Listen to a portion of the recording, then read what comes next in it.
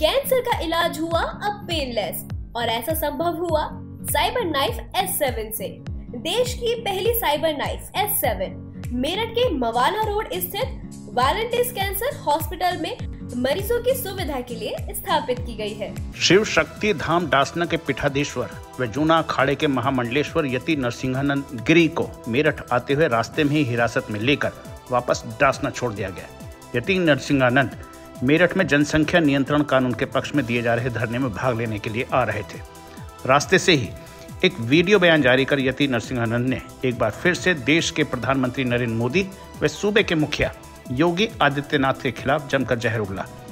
यति महाराज ने यहाँ तक कहा कि हिंदुओं की न्याय संगत आवाज़ को दबाकर योगी आदित्यनाथ कभी देश के प्रधानमंत्री नहीं बन पाएँगे। ऐसा ही कुछ उन्होंने देश के पीएम मोदी के लिए भी कहा।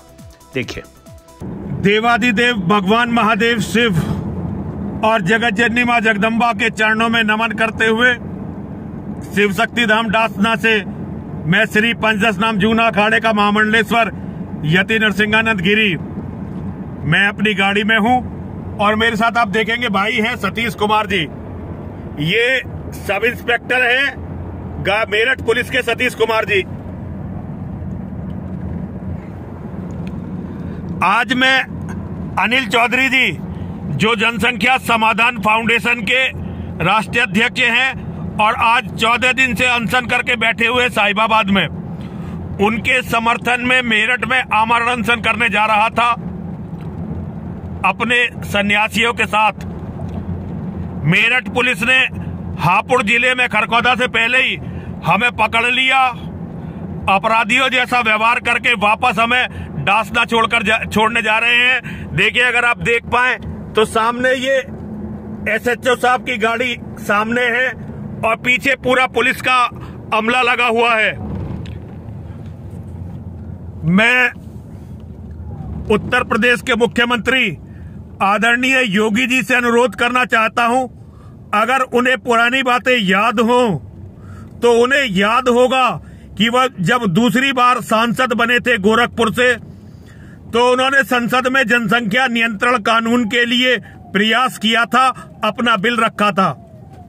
हम तभी से उनके भक्त, उनके प्रशंसक और उनके अनुयायी बने। हमें ये लगा कि ये व्यक्ति कोई साधारण सांसद नहीं है, बल्कि ये व्यक्ति इतिहास में अपना नाम अमर करेगा। लेकिन योगी जी, मुझे लगता है कि जिम्मेदार पदों पर बैठने के बाद हिंदू अपने लक्ष्य को भूलकर केवल अपने पद को संभालना और उससे बड़े पद पर जाने का प्रयास करने में ही अपने आप को सब कुछ सारी ऊर्जा लगा देता है। मैं आपसे ये बताना चाहता हूँ, अगर आप ये समझते हैं कि हिंदुओं को दबाकर आप भारत के प्रधानमंत्री बन सकते हैं तो ये आप निकाल दीजिए अपने मन से। हमारे आदरणीय प्रधानमंत्री नरेंद्र भाई मोदी जी मैं आपको पहले भी बता चुका हूँ सार्वजनिक मंचों पर। अगर आप कहेंगे तो वो वीडियो भी आपको भेज दूँगा। ये पृथ्वीराज चौहान हैं, अंतिम हिंदू सम्राट।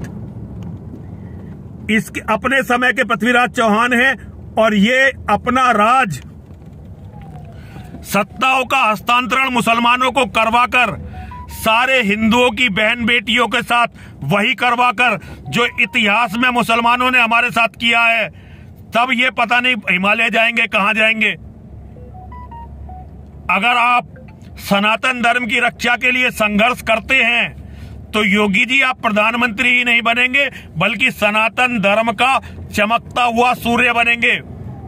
लेकिन अगर इसी तरह हमारी आवाजों को दबाते हुए केवल तृप्तिकरण पिसाचों का, जिहादी पिसाचों का तृप्तिकरण होता रहा तो याद रखिए इतिहास का कूड़ेदान है जो सब गद्दारों का इंतज़ार कर रहा है। आपको भी वही जगह मिलेगी और कहीं जगह नहीं मिलेगी। हर हर महादेव हर हर महादेव हर हर महादेव। उधर मेरठ जिला मुख्यालय पर धरना देते हुए हिंदूवादी नेता सचिन सिरोही ने यह कहा। जनसंख्या समाधान फाउंडेशन महानगर अध्यक्ष सचिन सिरोही मेरठ से। आज यति नरसिंहानंद जी महामंडलेश्वर जूना अखाड़ा वो आ रहे थे 11 बजे की सूचना थी कि भाई 11 बजे अमरन अनशन पे बैठेंगे यहाँ पे कलेक्ट्रेट में और जनसंख्या नियंत्रण कानून की मांग को लेकर। उन्हें डासना देवी मंदिर से चले थे खरकोदा थाना क्षेत्र में मेरठ के पुलिस प्रशासन ने उन्हें जबरन रोक लिया, गिरफ़्तार किया और उसके बाद उन्हें वापस डासना मंदिर के लिए वापस पुलिस जो है छोड़ने जा रही है उन्हें। तो इस तरीके का अन्याय जो हमारे धर्म गुरुओं के साथ हो रहा है, ये मतलब क्या इतना भी अधिकार नहीं हमारे धर्म गुरुओं को कि वो जो है मांग कर सके जनसंख्या नियंत्रण कानून की? क्या जनसंख्या नियंत्रण कानून इतना बड़ा अपराध है उसकी मांग करना? तो हमें भी जेल में डाल दो भाई, हमें बंद कर दो। अगर ऐसा हमारे गुरुओं के साथ ऐसा हो रहा उसके विरोध में आज हम यहाँ बैठे हैं।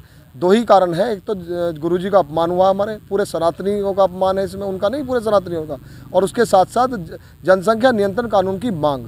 हमारी माननी चाहिए कि जब 60 लोगों ने कल मेरठ क्रांति धरती है, और यहाँ से 60 लोगों ने अगर इच्छा मृत्यु जताई है, राष्ट्रपति महोदय को ज्ञापन दिया है कि भाई या तो जनसंख्या नियंत्रण कानून या इच्छा मृत्यु। तो दे दो हमें, लेटर आ जाएगा, हम साठ के साठ मरने के लिए तैयार हैं। और इसके अलावा हम एक मांग और कर रहे हैं देश के प्रधानमंत्री जी से, कि जितने भी 2014 से जब तक सरकार आई है अब तक, जितने भी कानून इस देश में लागू हुए हैं, जितने भी बिल पास करे गए हैं, उन सारे कानूनों को वापस ले लो। लेकिन हमें और हमारे बच्चों के भविष्य के लिए कि वो जीवित रह सके इस देश के अंदर, हमें जनसंख्या नियंत्रण कानून दे दो, जो सबसे पहली मांग इस देश के लिए, सभी सनातनियों के लिए, सभी लोगों के लिए यही। इस खबर में फ़िलहाल इतना ही। आप देखते रहिए फ़र्स्ट बाइट डॉट टीवी नमस्कार।